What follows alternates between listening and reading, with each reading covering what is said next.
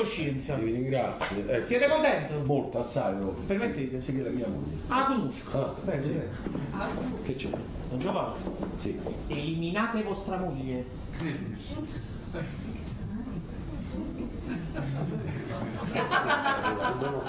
Non Eliminate vostra moglie. Ma la devo uccidere. Uccidere. No, dicevo eliminatela con una scusa, un pretesto. Ah, e allora allontanate vostra moglie. No, io mi credevo che per 400 lire doveva uccidere. No, ma quando... Vi devo parlare di un affare importante. Eh, allora la, la vado a eliminare. Prego, prego. Cresti, fatela quasi. Io te stai facendo per 400 lire. Va, va a comprare la spesa, la mozza, mozzarella, provola, maccherone, va, va, va, forza.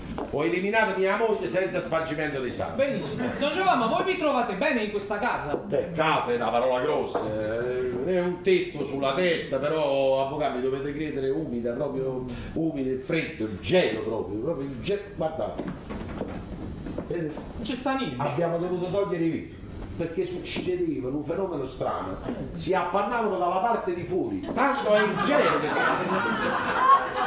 Infatti e mia moglie, quando cerchiamo un poco di calore.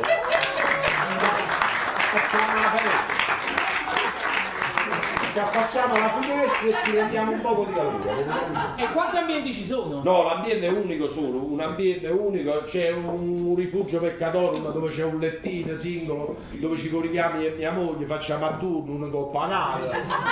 Ultimamente sto sempre io sopra perché mia moglie si è fatta un poco gli arcolettini non la, non la reggo, non ce la faccio a sostenere.